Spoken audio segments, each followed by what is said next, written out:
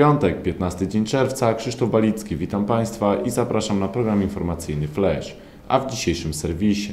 Groźne zdarzenie drogowe na drodze Krzeszów-Chemsko-Śląskie, Na łuku drogi stracił panowanie nad pojazdem, w wyniku czego potrącił prawidłowo jadącą rowerem 46-letnią kobietę. Czwartkowe obrady sesji Rady Miejskiej, Niech pan nie przegina pały Dobrze, za o, przeproszeniem. O. pani radna, naprawdę, proszę nie używać rynsztokowego języka, przeginanie pały, nie wiem w jakim wykonaniu pani by to chciała zrobić, w jakiej konfiguracji, ale ja się na to nie piszę. oszczędności w Urzędzie Miasta, Pieniędzy w systemie więcej nie będzie, a potrzeby rosną, rozwijamy się, potrzebujemy więcej pieniędzy. a na zakończenie powiemy o basenie w Bolkowie. Na dzień dzisiejszy to, co możemy, to robimy. Do groźnego zdarzenia drogowego doszło w środowe południe na drodze Krzeszów-Chemsko-Śląskie. Kierowca auta osobowego marki BMW, który ściął jeden z zakrętów, stracił panowanie nad pojazdem i uderzył w jadącą w tym samym kierunku rowerzystkę.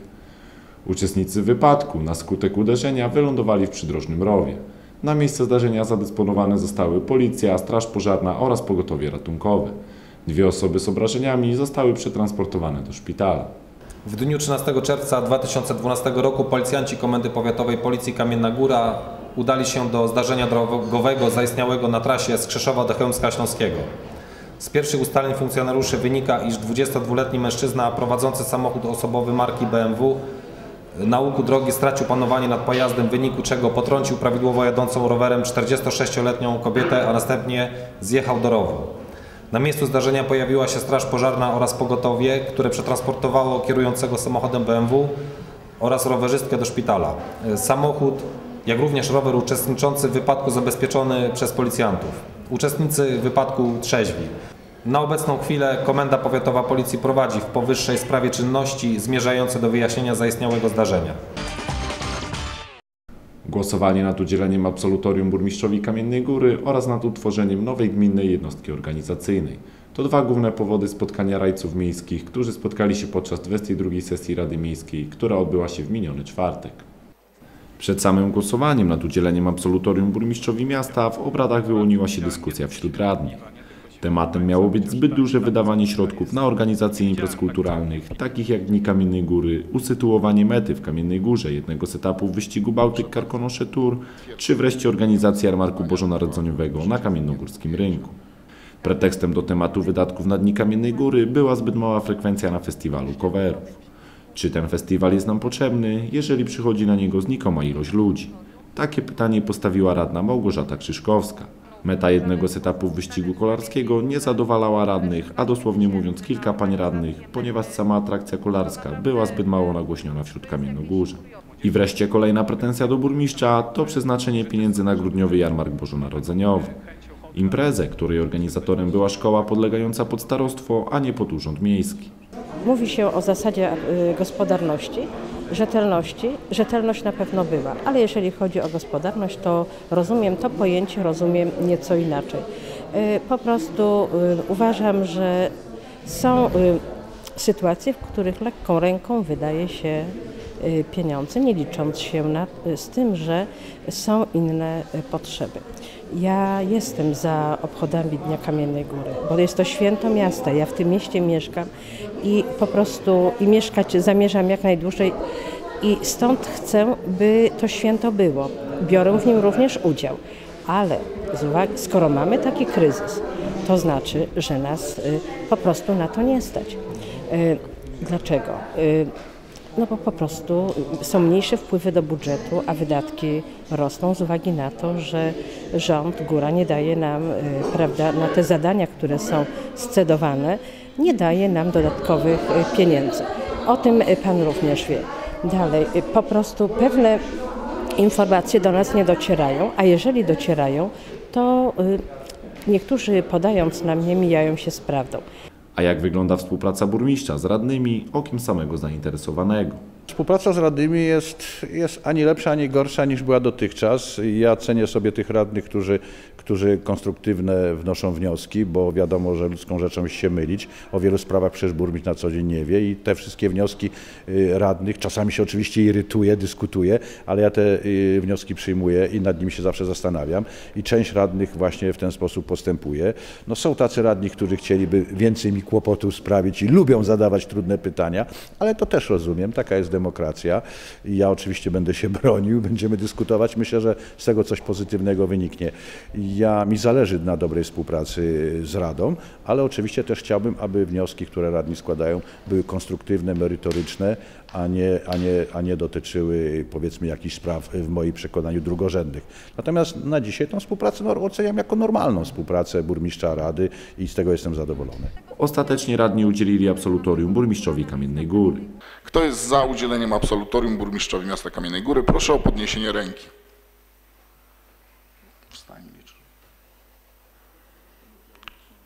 Kto jest przeciw? Nie widzę, kto się wstrzymał.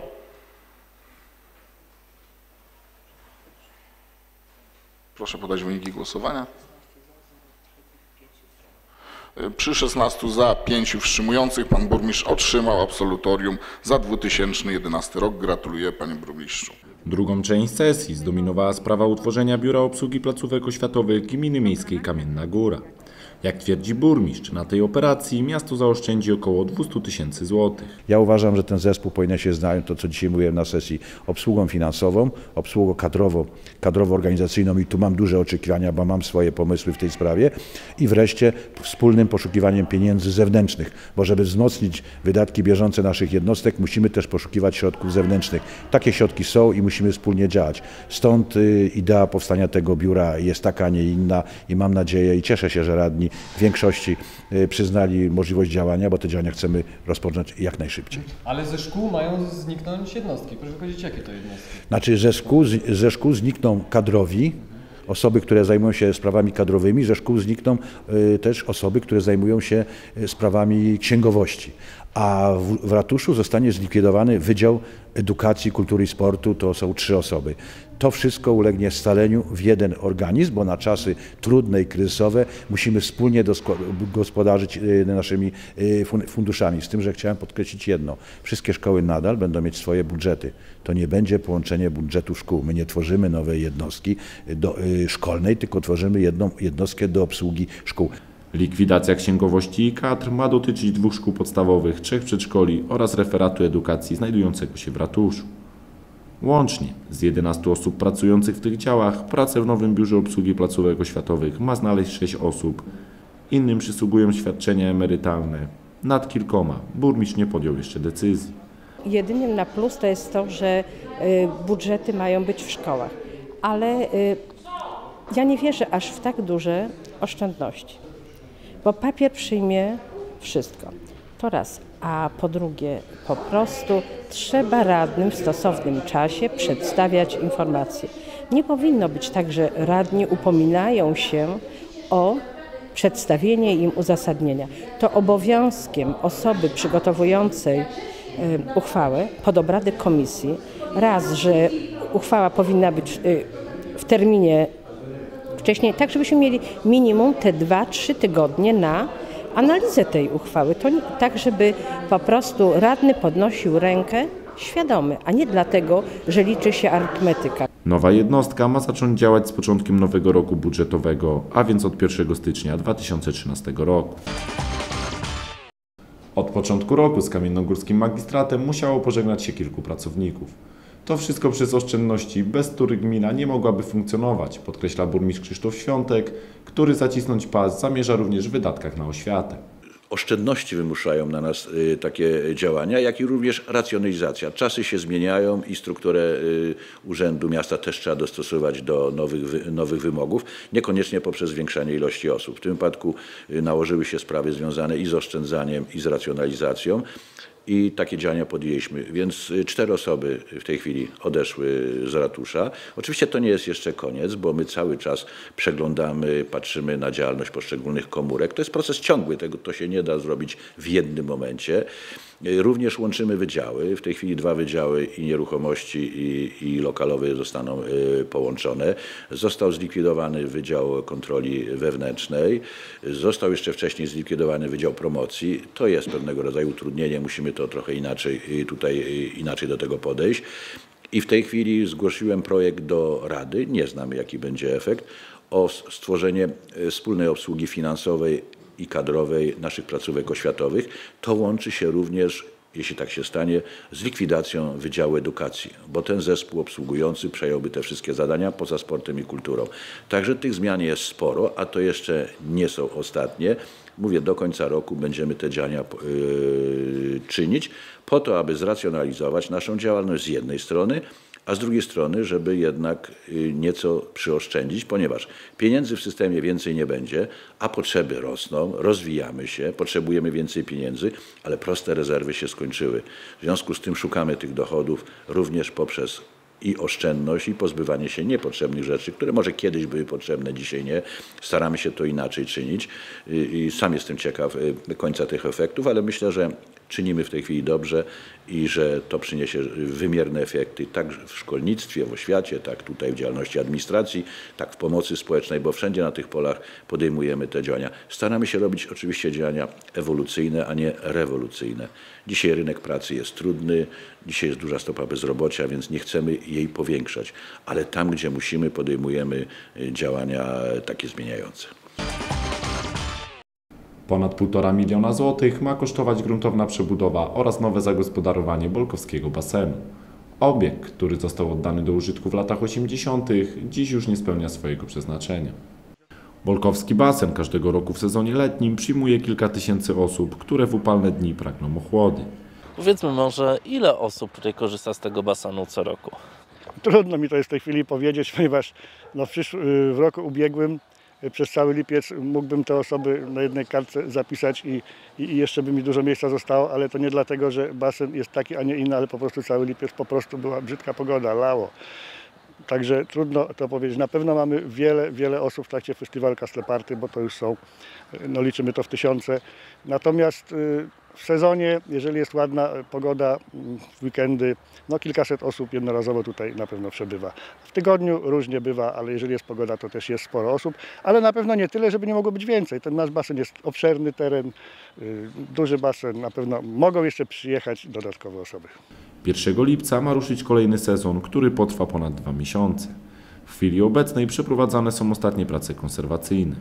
Po dniach Bolkowa rozpocznie się napełnianie Niecki wodą.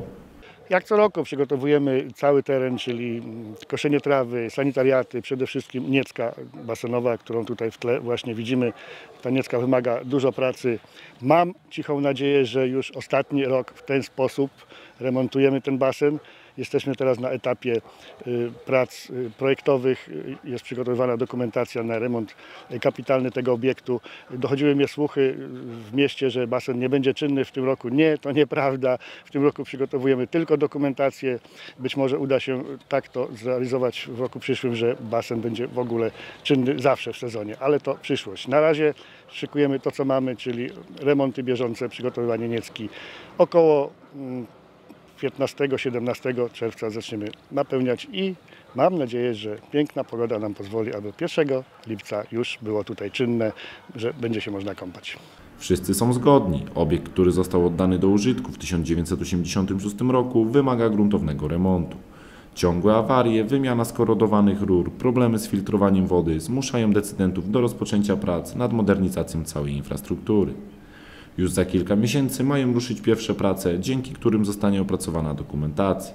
Potem wszystko uzależnione jest od kasy, która na remont tego obiektu z ratuszowego konta musi popłynąć strumieniami. Myślę, że to się uda. Środki na dokumentację już mamy. Rada Miejska jest przychylna ku temu, aby również wygospodarować środki na remont tego obiektu. Na dzień dzisiejszy to, co możemy, to robimy. Myślę, że będzie miło, przyjemnie i czysto jak zwykle, bo taką opinię nasz basen ma i tego będziemy się pilnować. Dzisiejszym wydaniu naszego serwisu to już wszystko. Dziękuję Państwu za uwagę i na kolejne wydanie programu informacyjnego Flash zapraszam w poniedziałek. Do widzenia.